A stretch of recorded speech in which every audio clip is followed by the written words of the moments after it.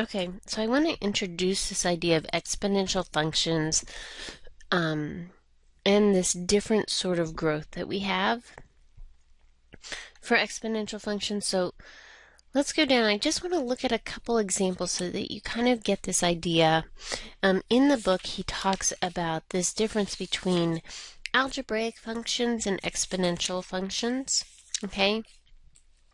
And I and I just want to make a few comments about these exponential functions. Okay, so I want to talk about two examples. And I, I want to do it kind of side by side, so I'll split this here. The first example is that you go to rent a car. Right?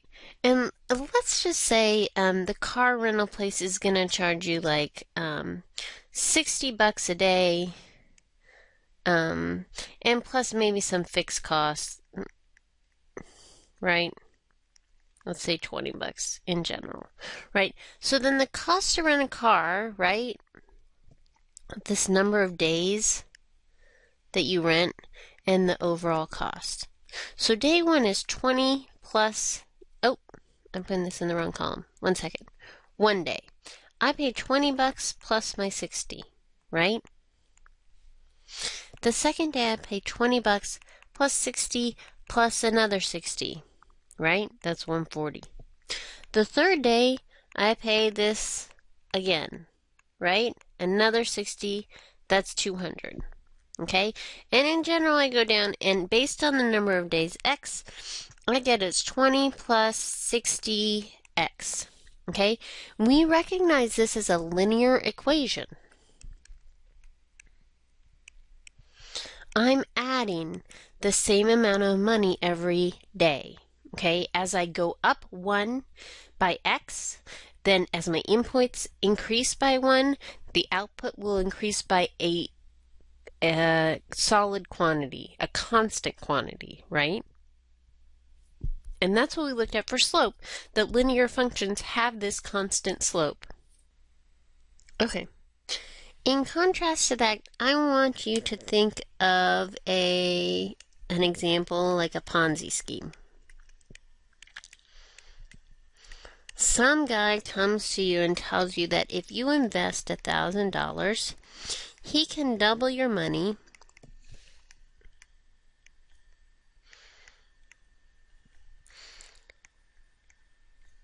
every month.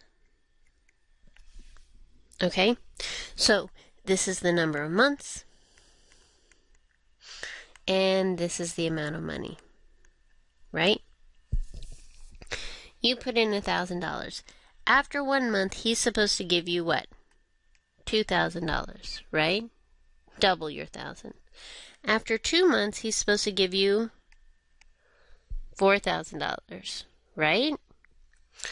After three months, he's supposed to give you $8,000. Does that make sense?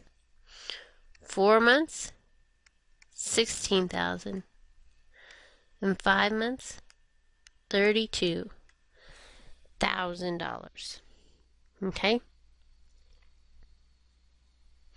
So this is a number where this was 1,000 times 2, right?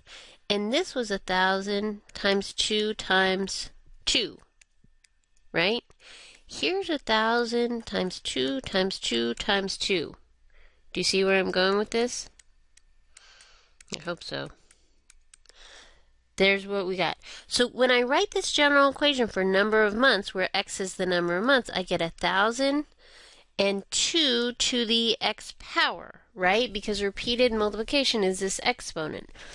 And this is what I mean by an exponential equation. Do you see the difference here? Here, this variable is in the exponent power or exponent place. Right there. And here it's not.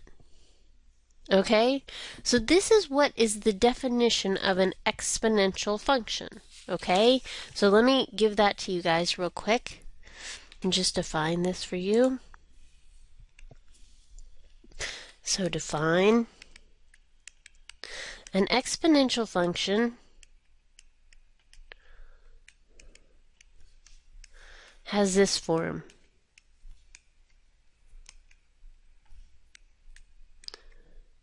f of x is equal to b to the x. b has to be greater than 1 and b can't be uh, b has to be greater than 0 and it can't be 1 and it's a real number or that at least we're looking at real numbers. And in this case this variable is in the role of the exponent. And right here this b is called the base of the function. Okay, I, I want to just make sure that we understand um, how to evaluate these functions. So let's just plug some numbers in. So find f of 5 for f of x is equal to 4 um, times 7 to the x power, right? So I plug this in, f of 5 is equal to 4, 7 to the fifth power, and then I have to do that on my calculator unless you know powers of 7 by heart. Um, 7 to the fifth, I get to be 16807 and then multiply by 4. So I get a final answer of 67,228. So just um, be sure you know how to use, um, in this section we will be using, you need a scientific calculator, especially once we move to logs, um, to be working with this sort of thing. So one more thing I want to cover is about exponential and related to exponential functions is related to the number e. Now, the number e is really defined as a limit, and we haven't quite talked about limits yet, so um, I'm not really sure that I want to use that definition. And in particular, it's defined as kind of this weird limit, limit as n goes to infinity, and let me just look it up um, because I don't have it memorized. Um,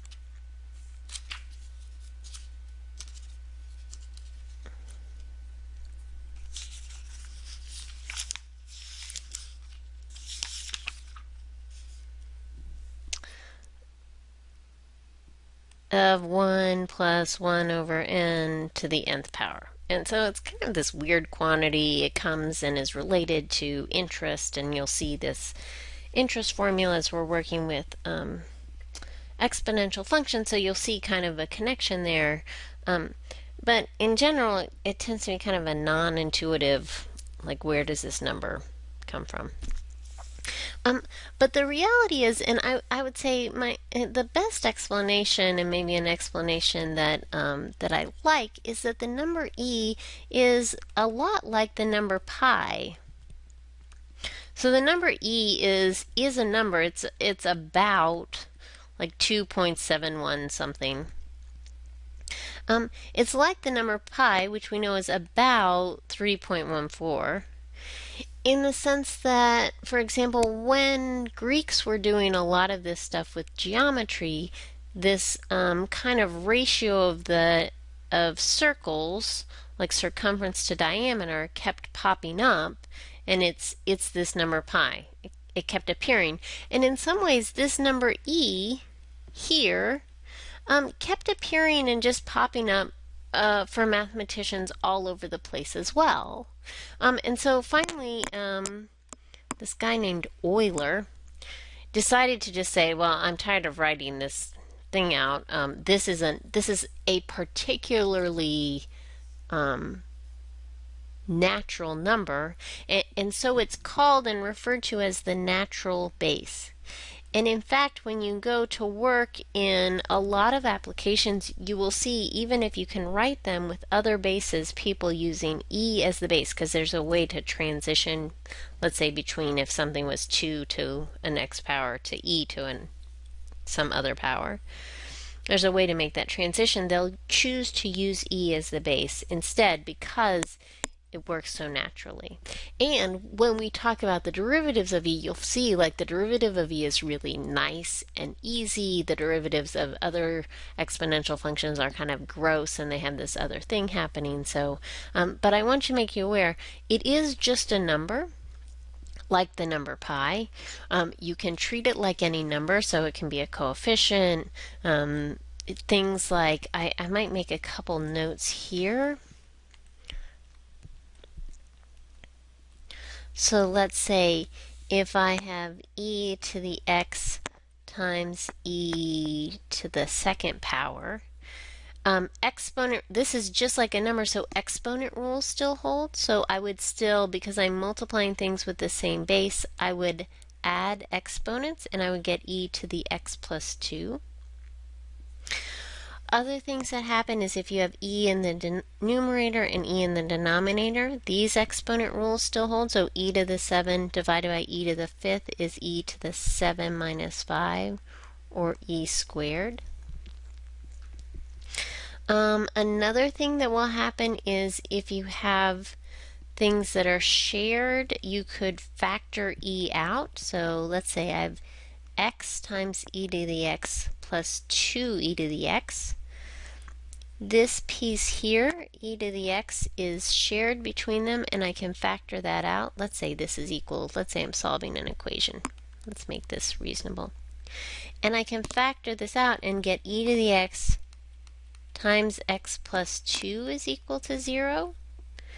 And then I can still use that zero factor property and say, well, that's e to the x equals 0, which never happens or x plus 2 equals 0, and a solution to this is x is equal to negative 2. So all of those things that you know for other numbers um, still hold for e. Um, it's just a particular shorthand notation for this number. Okay?